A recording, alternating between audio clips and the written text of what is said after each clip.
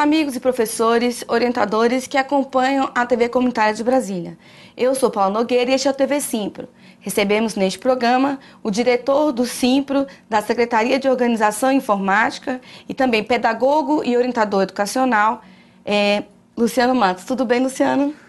Tudo bem, Paula. Prazer mais uma vez estarmos aqui para discutir a importância é, desse profissional e as ações que a gente tem feito junto com a nossa entidade, é, com os concursados e não nomeados, pela nomeação dos concursados do último concurso de 2014. Perfeito. Bom, o programa vai abordar é, as, os orientadores educacionais na rede pública aqui do DF e a necessidade de contratação é, de mais orientadores, né, que há uma carência muito grande.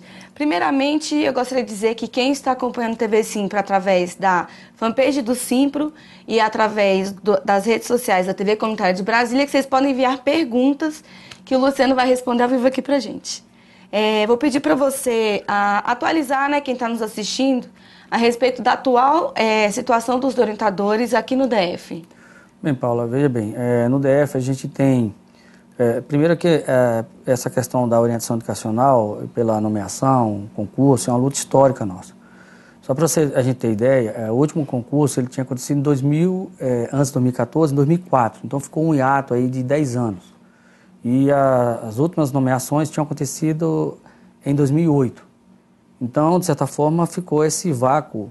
E com a nossa mobilização da entidade, dos orientadores, é, conseguimos é, no governo anterior é, cobrar e saiu esse concurso em 2014. É, é importante ressaltar que é, a partir desse concurso e da homologação dele, é, só foram chamados, convocados é, cinco orientadores educacionais pela nossa mobilização. Né? E, e o que a gente tem visto por parte desse governo é aquela questão da nomeação conta-gotas né, tanto nossa como dos demais profissionais da educação. Então, o que fica claro é, por parte deste governo é que ele não há nenhuma preocupação com os trabalhadores de educação. Né? Então, isso é claro que é aquela política dele, é a política uh, do choque de gestão que ele preconizou em sua campanha. Perfeito. Nós temos alguma estimativa de quantos orientadores são necessários na atual estrutura das escolas aqui no DF? Olha, nós temos aí um dado importante, inclusive tem um documento que foi revisitado recentemente pela Comissão dos Concursados e Não Nomeados, é, no total de 657 escolas, né, é, juntamente com conosco, representando o Simpro, é, que 20, em torno de 20% dessas escolas não existe nenhum orientador educacional.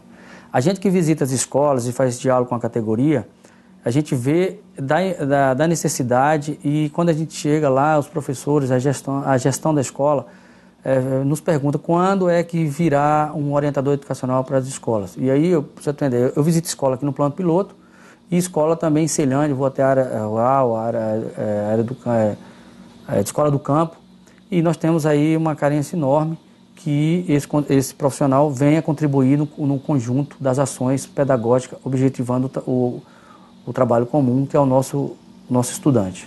Perfeito. Bom, ah, então é, essas escolas estão sem suporte desses orientadores, né? Seria interessante falar qual que é a real importância da figura do orientador educacional na estrutura pedagógica da escola, né, Luciano? Sim. Veja bem, é, o trabalho é, não se resume com estudantes só em sala de aula. Esses profissionais, professores que procuram fazer o seu trabalho arduamente em sala, ele precisa de outros profissionais, e dentre eles o orientador educacional. O orientador educacional ele é um elo de ligação com todos os segmentos da escola. Ele trabalha na relação aluno-aluno, aluno-professor, professor-professor, é, gestão e comunidade. Então, esse profissional é o que contribui né, para que essas ações, a partir do projeto político pedagógico da escola, elas sejam é, realizadas, objetivando, como eu falei, o nosso principal é, objetivo, que é o nosso estudante. Então, ele tem esse papel importante. Ou seja, o orientador educacional que, naquele momento da, das suas ações, ele exercita a escuta sensível, né, ao ouvir o aluno diante de alguma situação é, e também é, trabalhando projetos, mas de maneira coletiva. Né? Então, assim, ele é um, é um profissional que ele transita por todos os espaços da escola. Então, ele vem a somar muito é, diante dessa realidade que a gente tem visto aí do total desmonte é, da escola pública do Brasil, principalmente aqui no DF, é da, da, importância desse profissional né, nesse conjunto das ações políticas pedagógicas. Perfeito. Bom, nosso país está passando por um momento muito complicado, é, muito mesmo complicado. É, como fica a situação desses orientadores educacionais nessa conjuntura política, por exemplo, com a reforma trabalhista ou da Previdência, né? Porque eles ficam numa situação de fragilidade, porque existem poucos, não se contrata. Como está essa situação? Como fica? Olha, é, boa pergunta, Paulo. Assim, primeiro, é, assim, é importante a gente ressaltar que todos esses ataques contra os trabalhadores mexe com todos os profissionais né, independente se é público ou privado. E é importante ressaltar que este governo, assim que ele assumiu, ele fez, teve um levante dele aqui com os governadores dos estados e ele do Distrito Federal aqui em Águas Claras, para se discutir a questão da, da, da do como é se diz do refinanciamento dos estados do Distrito Federal, perdão, com o governo federal. E foi esse governo que fez o levante que foi aquele PL 257, depois foi aprovado no Senado, que aí o que, que tinha no bojo desse projeto? Era não, é, é, não concurso público e não é, aumento salarial.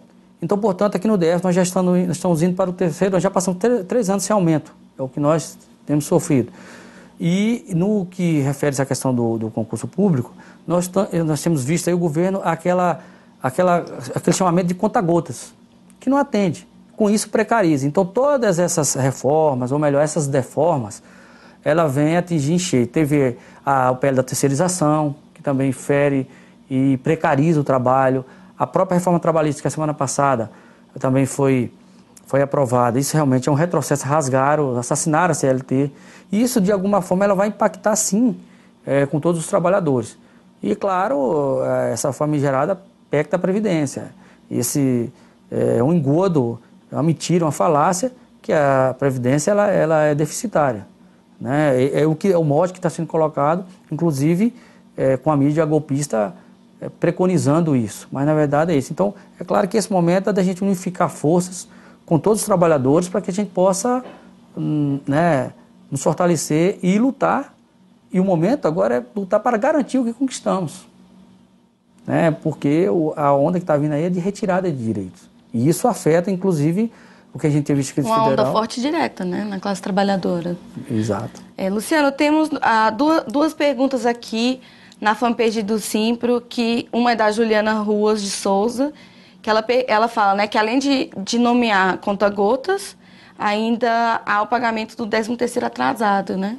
Vocês têm registro, então, de além é, é, de não nomear, né?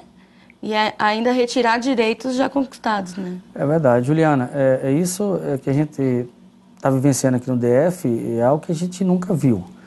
E, por exemplo, é, com relação ao 13 terceiro, o governo tinha apontado de pagar é, dia 14 e disse que a previsão de pagamento agora é dia 20. E isso fala do governo. Mas a gente tem que aguardar né, para verificar realmente se ele vai cumprir. O que a gente tem visto é essa, essa inquietação, entendeu?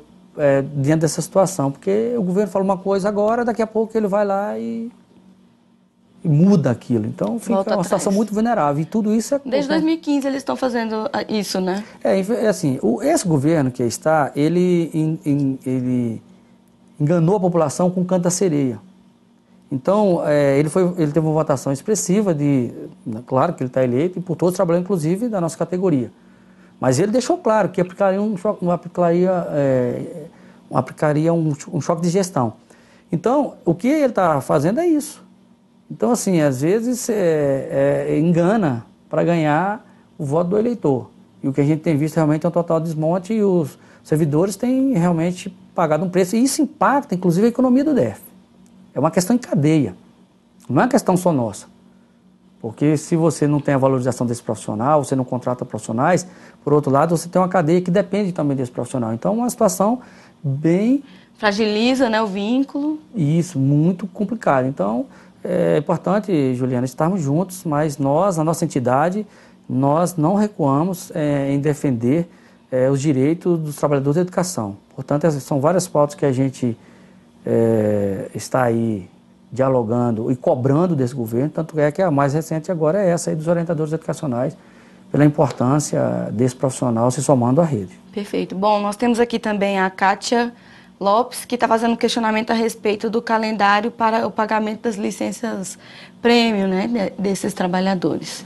É, assim, é, nós temos uma secretaria que é a Silva, Marilange e a Deusaí, que fazem parte, inclusive já estiveram aqui no programa, eu acompanhei, a reunião que teve uma, uma movimentação dos, dos aposentados e o, o governo ficou de apresentar um cronograma para pagamento das pecúnias de 2016. Então, assim, só para a gente ver o momento que a gente está passando, porque esses que não, que não puderam, é, que estão agora pleiteando a sua licença prêmio em pecúnia, é porque não tiveram oportunidade de gozar a licença prêmio no seu período que você que ela estava é, nativa, né, no exercício da, a, do magistério. Então, o governo ele não apresenta um calendário oficial e cria toda essa, situa essa situação. Então veja bem, Paulo, é isso que tensiona todos nós, trabalhadores, porque se eu aposentei, eu tenho algo, gostaria de receber. Se eu não, tirei lá antes, não foi porque eu não quis, foi porque o governo não, não, não me deu as condições necessárias. Então, realmente, mas a nossa luta é constante, a gente está acreditando, esse nosso, uh, o nosso desejo é que ele cumpra, e esse foi um encaminhamento que é, terá um, agora a partir de julho, algum desdobramento nesse sentido. Né? E a Secretaria de Aposentados ela é muito, está muito firme e nós, claro, juntos, né, para cobrar aquilo que é de direito. Perfeito. Bom, se vocês tiverem mais algum questionamento, quiserem enviar aí na fanpage, podem ficar à vontade que o Luciano vai responder.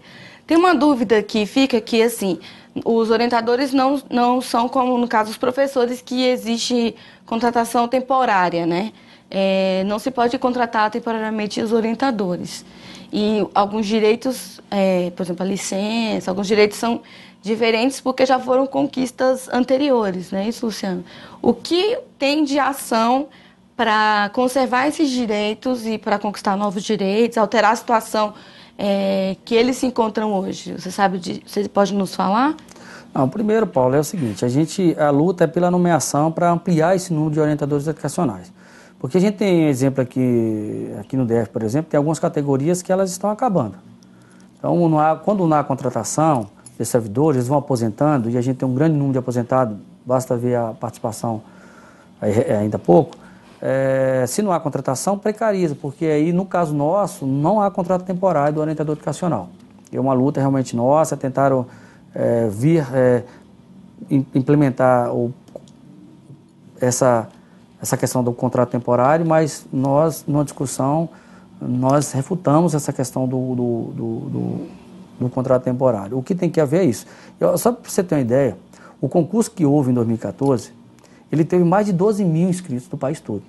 Inclusive tem um dos, do, do, do, dos, dos concursados nomeados, o Antônio Lídio, ele é do Rio Grande do Sul, ele faz parte da comissão. Né? Então, assim, então, para a gente ver a abrangência deste concurso no país todo e, e, a importância de como a orientação educacional também ela está é, inserida aqui na política educacional do Distrito Federal. Então, realmente, ela teve uma participação excelente. Assim, então, o que tem que haver agora é o governo cumprir com aquilo que é a obrigação dele. E mais ainda, o edital preconizava a contratação imediata de, de 50 orientadores. Com a mobilização ano passado, junto à Câmara Legislativa, foi derrubado o veto dos orientadores, nós do Simpro, junto aos parlamentares, no dia 25 de outubro, foi derrubado o veto do governador. É, e, dois, e dois dias depois foram convocados é, cinco orientadores educacionais. Esse ano nós já tivemos algumas a, ações, inclusive, teve uma outra audiência pública lá na Câmara Legislativa, no dia 14 de março, um dia antes de iniciar a greve geral trabalhador da educação, a nossa greve aqui no DF, onde o, o representante do governo, Jair, disse que o governo iria nomear 40, convocar 45 orientadores. Só que não deu prazo. Então, assim, só para a gente ver que, de certa forma, cria uma expectativa, uma situação muito ruim de quem se preparou, né, abriu mão de, algum, de outros projetos, e a gente e fica guardando e não há essa, essa, esse cumprimento, inclusive do que preconiza o edital. É uma bola de neve, a situação vai se agravando, né?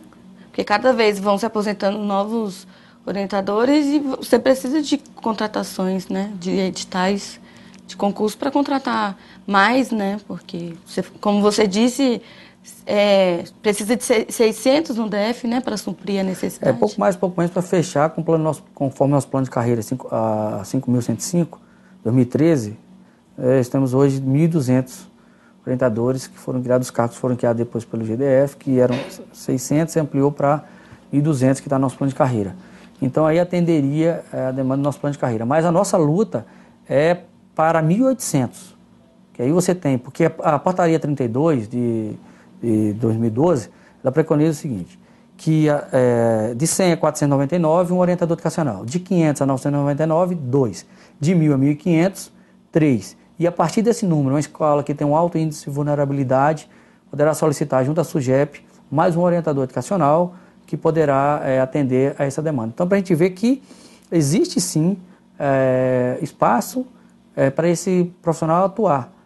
Mas aí o que precisa haver é uma política séria do governo federal em valorizar esse profissional né, para que a gente possa é, contribuir é, com a educação de qualidade, preparando esse, esse jovem adulto trabalhador, criança, jovem adulto trabalhador, é, para um, um, se inserir na sociedade de maneira crítica, participativa, ou seja, o papel que compete à escola. Então, uma escola que tem os profissionais necessários, o objetivo, é, a gente atinge um objetivo melhor. Perfeito. Bom, na fanpage tem uma, um comentário, na verdade, né, do Giovanni Rocha, que ele fala que há mais de dois anos é, existem professores, orientadores, na verdade, fundamentais, esperando para serem nomeados. Né? Aproveitando essa deixa, há quanto tempo tem para o concurso perder sua validade? Porque é. aí é uma outra situação, né? No universo de 1.800 orientadores, você chamar cinco, não, não adianta nada, né? É, olha só, Giovanni, é, o concurso, ele foi prorrogado agora, ele vence no dia 7 de 5 de 2019. Foi uma luta nossa também, junto com os concursados. É importante ressaltar o papel desse concursado. A gente não tira, a entidade não tira autonomia da importância da mobilização e organização dos concursados nomeados, que tem feito realmente um trabalho árduo.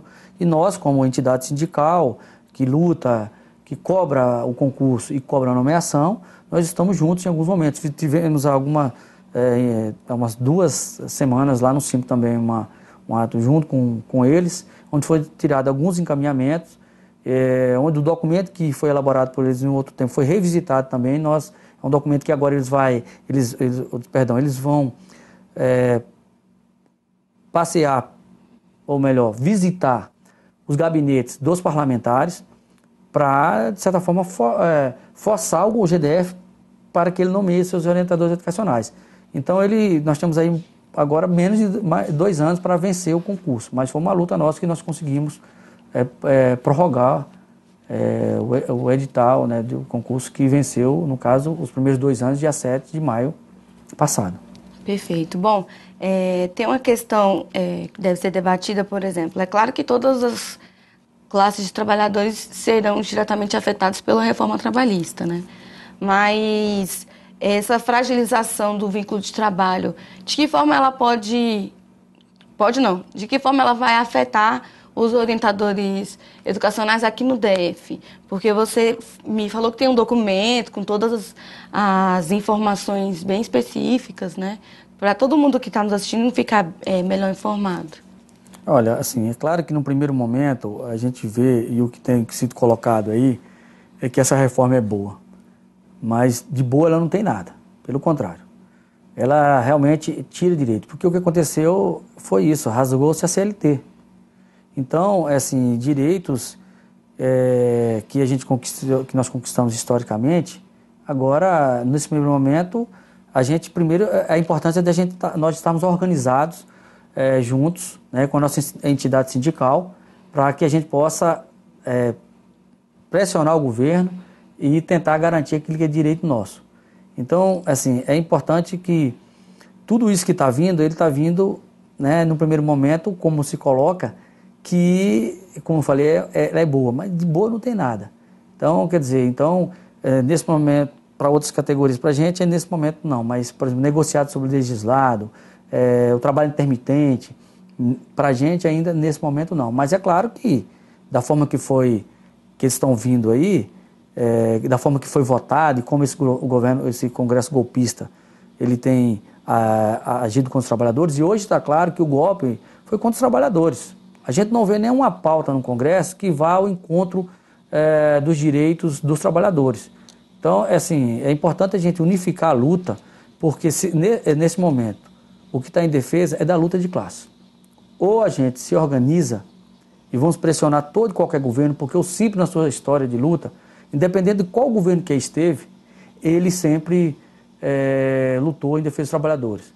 O governo anterior foi uma luta constante nossa, primeiro sair o concurso de orientadores, e onde foi quando foram convocados mais de 6 mil professores.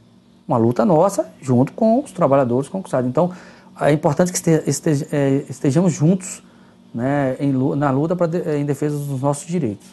Perfeito. Bom, em cima desse mote, Luciano, é, quais são as próximas ações ah, do sindicato é, para que as pessoas possam se mobilizar e somar esforços é, com todas, né? A classe toda se unir, a categoria é, pressionar né, o GDF.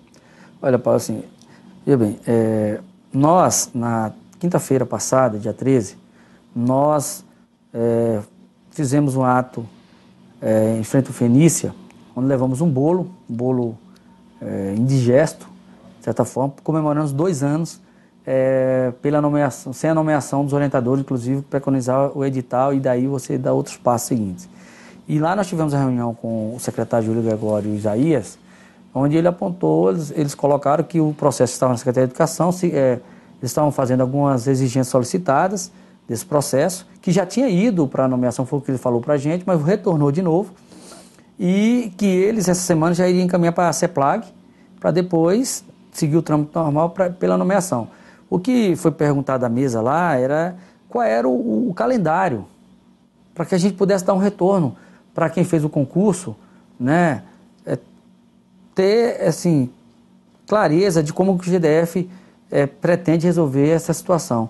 Não, serão cumpridas as exigências, só que não foi dado prazo. Então isso realmente mexe com todos, mas isso não quer dizer que nós não vamos que nós vamos recuar, pelo contrário. Nós vamos, nós vamos estar juntos. O próximo passo agora, como eu falei é, ainda há pouco, é que é, tem um documento que foi revisitado, onde foram acrescentados mais dados importantes, e onde os, a comissão dos concursados e não nomeados né, irão visitar os gabinetes para apresentar esse documento, para fortalecer a luta. Terá uma audiência pública, inclusive com, chamada pela mobilização dos, dos concursados não nomeados com o deputado Vazio de Rolo, para que a gente possa discutir, debater e, e pressionar o governo a nomear esses concursados. Se não for dessa, se não houver pressão, esse governo não vai atender ao pleito que é de de direito dos orientadores educacionais. Perfeito. E de acordo com o que vem sendo mostrado pelo atual governo do país, se eles puderem, inclusive, até demitir quem é concursado, eles vão fazer isso, né? É, curiosamente, eu falei, é uma, é uma série de ataques, né? Tem um projeto que foi apresentado por uma recente é, sobre essa questão de demitir é, é, é profissionais concursados, né? Da, é, da rede pública, né? Então, assim, a gente está vendo que, como eu falei, não tem nada, não, não tem nenhum projeto que vai ao encontro, é só de retirada de direitos. Por isso que nós não vamos aqui no DF, de forma alguma, recuar por aquilo que é de, direito, de direitos dos trabalhadores da educação e nós estamos juntos como sempre estivemos. Foi na história nossa da orientação educacional, o Simpro sempre esteve junto. Né? Eu falo enquanto base, já né, estive base, quando foi pela minha nomeação, para que de fato o governo cumprisse é, as nomeações e nós pudéssemos exercer nosso, nosso papel enquanto profissional dos anos que nós estudamos na universidade, nas faculdades. Então nós temos um papel importante. Como eu falei, o momento é de unificar forças. Né? Ou a gente unifica ou de fato eles vão nos retirar direito e, claro, é a ordem que está aí. Né? A gente está vendo como é que está o Congresso Nacional que é aqui tão perto, como é que ele tem, eles têm tratado todos nós é, brasileiros, brasileiros e trabalhadores em geral. Perfeito. Bom, Luciano, é, o, esse programa está chegando ao fim.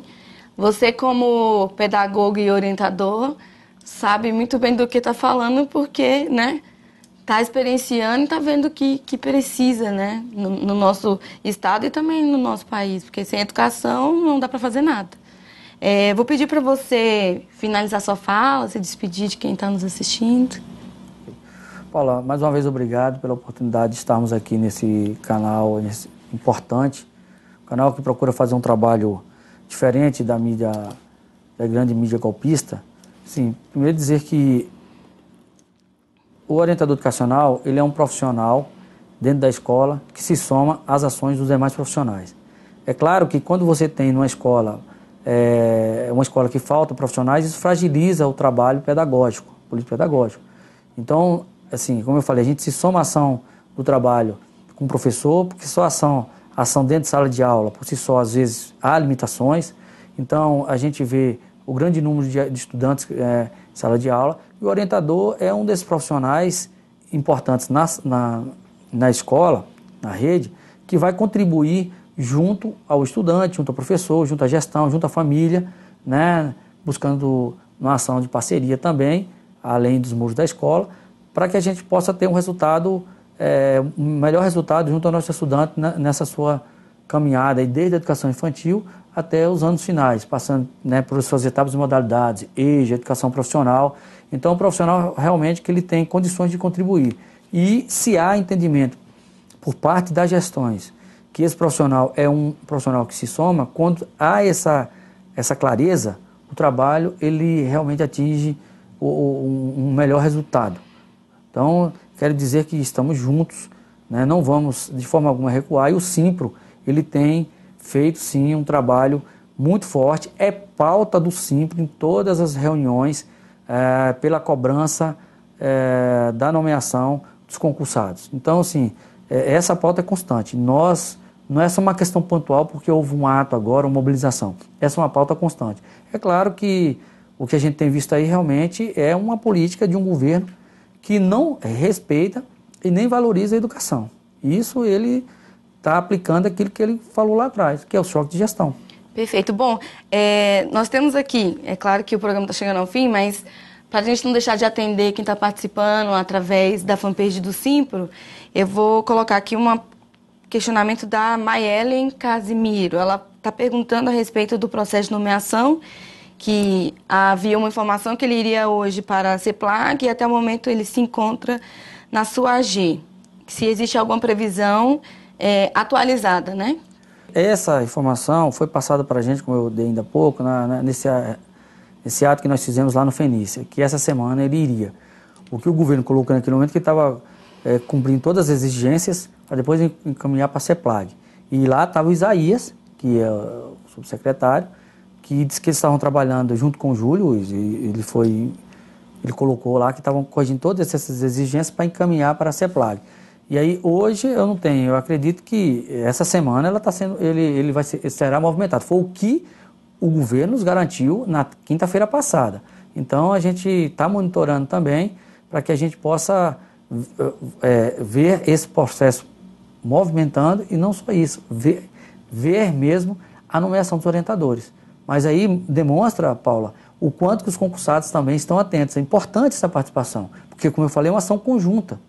Né? Lá nós tínhamos, finalizando, nós tínhamos lá orientadores não concursados, tinha professores efetivos e nós tínhamos também orientadores e orientadores educacionais somando lá o ato nosso. Então, para ver que a luta é, é conjunta. Então, assim, nós, entidade sindical, os que estão na ativa, né? os, não, os, não, os concursados não nomeados, então a família lá. Então, olha que coisa assim bonita de ver assim, as pessoas lutando por aquilo que é seu de direito. Né? Então, inclusive, a família formando o seu filho, a importância Com de lutar certeza. por aquilo que é de direito. A gente viu isso lá. Então, deixamos claro que, é, de maneira irreverente, foi o bolo que nós, da comemoração dos dois anos, né? foi um escracho que a gente fez no sentido de, é, de maneira irreverente, levar o governo a fazer uma reflexão e a nomear. Entendem da importância, mas a gente não vê algo de concreto. O que a gente vê é a, é a nomeação. Perfeito. Bom, então, agora, agora sim, o programa está no seu final. Gostaria de agradecer a sua presença mais uma vez aqui, Luciano, na TV Comunidade de Brasília e no TV Simpro. Eu agradeço a todos vocês que acompanharam o TV Simpro através das redes sociais e o canal 12 aqui da TV Comunitária de Brasília, assim como quem acompanhou através da fanpage do Simpro. Eu sou Paula Nogueira, este foi o TV Simpro. Convido vocês a continuarem acompanhando a programação da TV Comunitária de Brasília. Muito obrigada e até logo.